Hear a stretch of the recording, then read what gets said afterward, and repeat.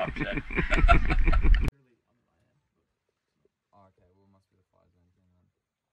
So, Lynton, um, when did you first get into swimming, mate? Particularly long distance stuff. Oh, the long distance stuff came uh, in in recent years. I was about eight years ago. I, I tore my bicep tendon off the bone, uh, mucking around with the two boys down the beach, uh, thinking I was going to outdo them in a sand fight, and I ended up chasing them down the beach, thing, and then uh, throwing sand at them, and they're throwing sand at me, and I'm thinking that I can bend down, scoop, and pick and throw in the same action, and my hands stayed in the sand, and my body kept running, and there was this huge crack, and uh, I thought I'd break my arm, but it's actually the tendon coming off the bone. So official start And then I went down, and they thought I was dogging, so they just jumped on top of me, started laying into me as well.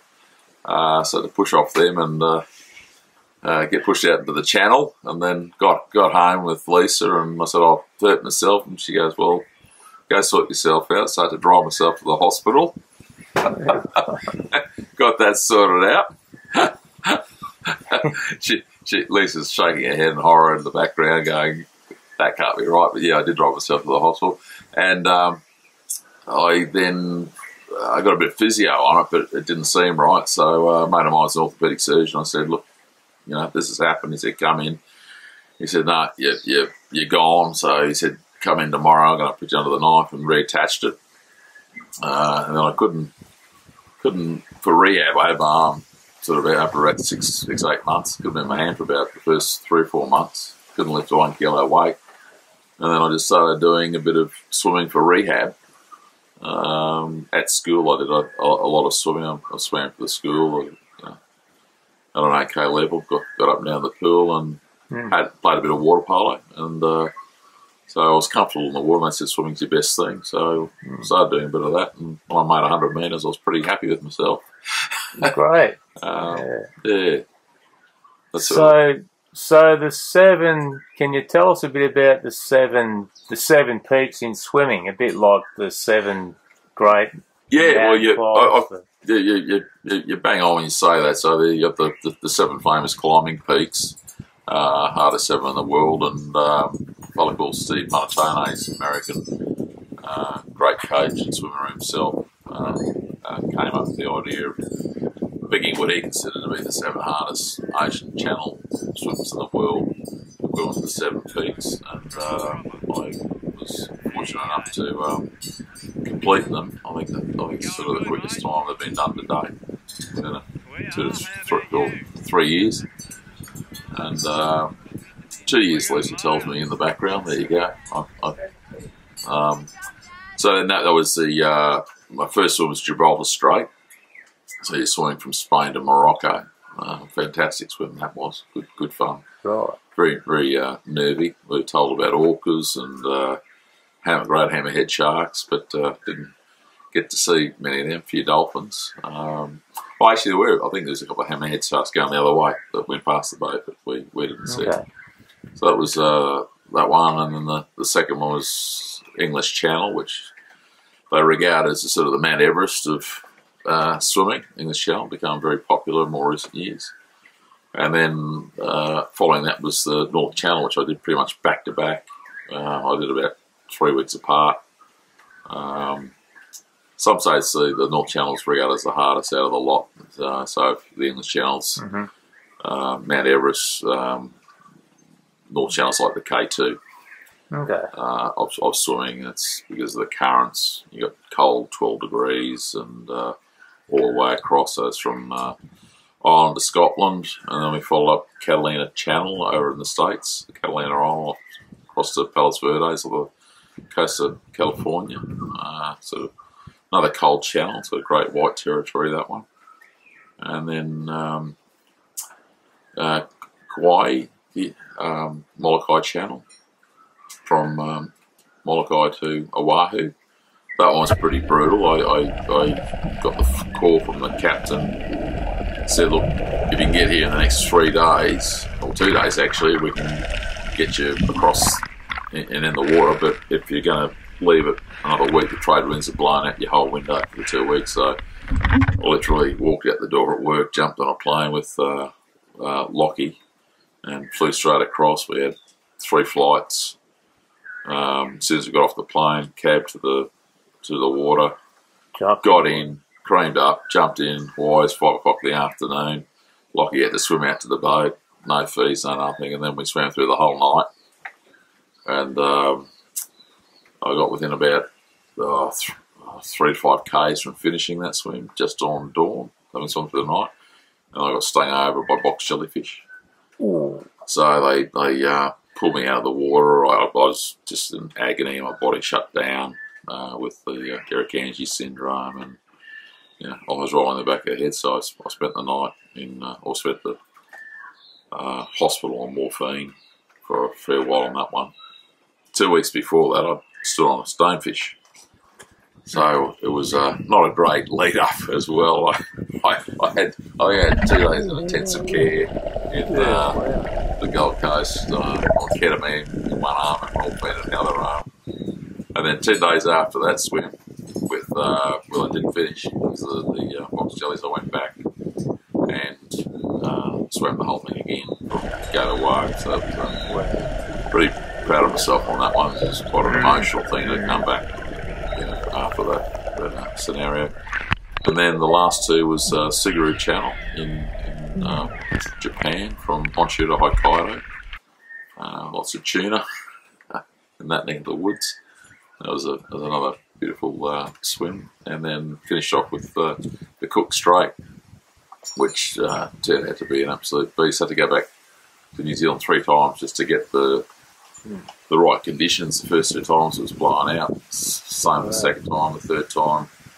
Got within three k's of finishing, and there's a massive tide shift from the north came down, and three three k's to go. I'm normally hopefully about an hour to knock that over. Well, that took about three and a half hours to finish the last three k's to punch through that tide, and after you spent you know 12 hours or so in the cold water of the Cook. It was pretty brutal. So that was the yeah, that was the Ocean Sevens. I was the first Aussie, and I think it was about the 12th or 13th in the world to, to have done that.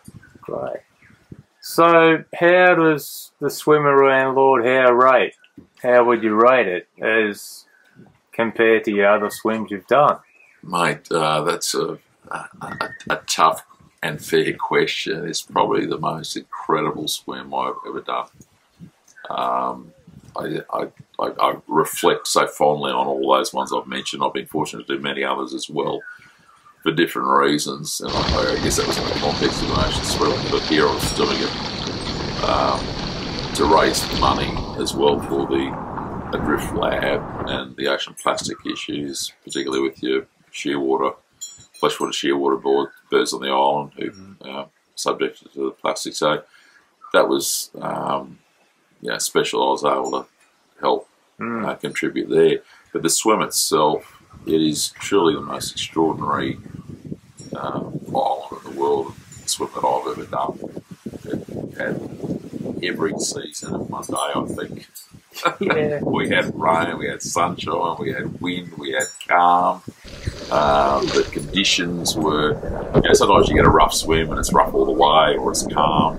This one just sort of had it all. As, as you know, Jack, you know, uh, through your expert uh, tutelage, getting us around the island. It was a, it was a suck and see swim where you, you know, we're assessing the currents all the time, adjusting course and all the rest. But across the top of the island, I mean, uh, that was quite bouncy with off the cliffs and uh, the wash, and then coming down the, the, the east coast, the, the, the beaches there. Mhm. But just the scenery as well. It was just. Uh, I mean, I, I, I think you told me to get a hurry up a couple of times. You know, uh, I, I was just sort of uh, No. uh, in, in awe, or, in awe of the beauty, because, and it just Mm. couldn't. It was extraordinary looking at the the rugged sea, landscape, but then also the seascape was going on underneath. Um, and also, I think it's like just incredibly enjoyable. I mean, I'm, I'm pretty fortunate to have like, a beautiful family on just about every swim. So, you know, took, took my, my, my beautiful bride Lisa on another lovely boat cruise on Valentine's Day this day. So, around the island. And, yeah, Nicholas and Lachlan, um, yeah, they've been with us on most of the uh, adventures as well, and paddling or feeding and support. And Angie, uh, she's amazing. She probably five kilometres yesterday. to swim at Yeah. various stages with me. And, but also the um, the sense of community on Lord Howe is just extraordinary. Uh, I'm, I'm just incredibly grateful, especially to you, Jack, and, and to Sydney for, for what you did, giving up your time to take us around and support the cause. And just the Islanders, they're generally just so welcoming Mhm. engaging and caring and supportive of it. And, you know, we, we, we had um, people I'd never met who were coming out and supporting on the, on the ski or on the boat um, with, you know, Stephen and Carol and Rachel, uh, people I've never met, but, you know, it felt like their mates. And then uh, Dean as well, I think was other one. And uh, then we had, Tre- we had Trevor Handy, who's a you know, Queensland Gold Coast boy um, as well, running his swim camp over here with uh, Michael Bannister. And uh, Banners was amazing. He was on the paddleboard with Rach around most of the island or swimming with me. And, and Trevor was fantastic too, with, with Jackie's constantly communicating. At the time, he was out there uh, with, with the currents. But apart from that sense of community, it was just like a great, like to me, it was a, it was a fun, enjoyable swim. Uh, it wasn't like it wasn't about the time; it was just the destination and the journey and getting there, appreciating what we're doing it for, and then um, we had a few marine visitors uh, along the way. Uh, the island's quite well known for its Galapagos sharks. Uh, I was told also that February's uh, tiger tiger shark season as well. Think they had a four metre, wasn't it? They spotted just recently. But Jack kindly pointed out to me the exact spot where I was having a feed. That's exactly where they spotted it the other day. But uh, and then uh, I, on the east coast, I think it was on the east coast and coming around Gower, um, Gower, Mount Gower, which was just yeah extraordinary. Looking up there, we started getting a few Galapagos sharks coming in each feed, and they'd increase in numbers gradually, and they start coming up a bit higher, and I sort of report back to Jack how it's going, and he's going, well, they're getting, you know, inquisitive or aggressive, and I think when I got to about 10 or 12 of them, I said, well, and then one came up and breached, sort of had a bit of a look, how are you? I said, mate, we've got about 12 in the water now. We probably did, but anyway, might have been 20 of the bastards to each, I think was the uh, exact uh, wording of it. No, But that was uh, uh, incredible as well. We had, look, we had shark shields on, which we, we didn't use them at all for, uh, towards the end. It was only when that uh, Galapagos came up and breached, it was thought, well, that's probably just getting a little bit too close, too inquisitive. And in the meantime, I think uh, Lockie and Nick and Angie, had, when I was having a feed and the sharks in the water, they'd jump in. You know, Lisa would tell them, well, you know, hop in with Dad. Rather than using shark shields, is that right, Dale? Uh, No, but it's all it was all it was all very controlled and safe, and there was no aggressive behaviour. So we, you know, we, we took it all very seriously. But uh, uh, that was, you know, an extraordinary experience to you know, have that sort of marine life around you. Um, and, and again, as I say, the support was just unbelievable by everyone, and you know, your your your seamanship, Jack, second to none. So, um, you know, very grateful and appreciative you. of uh, your work there.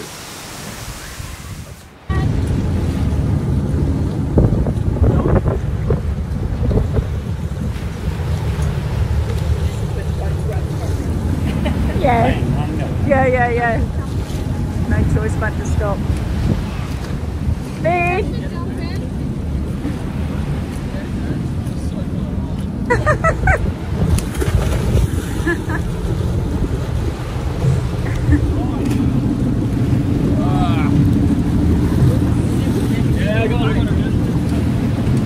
you went around whole boat. Oh, jeez. kind of turn as I did it, but You did well.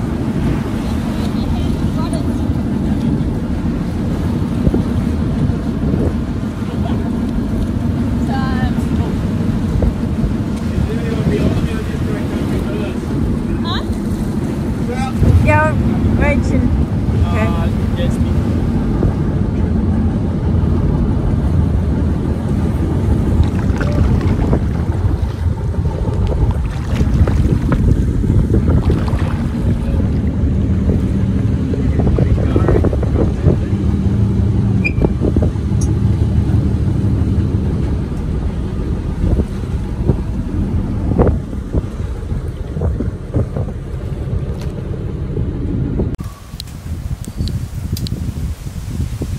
just very grateful too to everyone that's contributed uh, to this fantastic uh, cause and not just financially but uh, contribution to uh, cleaning up the environment and uh, helping out. Uh, Dr. Jennifer Lavers with the Drift Lab, she and her team planted 30 Australian natives down in Tasmania and pulled out 30 noxious weeds. So it's a real across the nation sort of scenario. And then you've got over in the UK, part of the Drift Lab, Dr. Alex Bond, who ran an extraordinary 30 k's in uh, freezing cold temperature. So kudos there.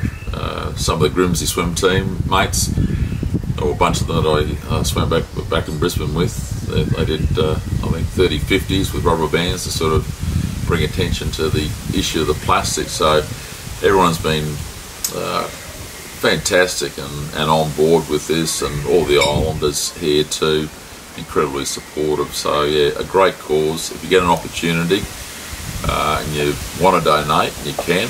It's to just go to hashtag day of 30 and that'll bring up the, the relevant link or go to the Adrift Lab website and uh, yeah, we'd be grateful for uh, any further donations. It's just a fabulous cause.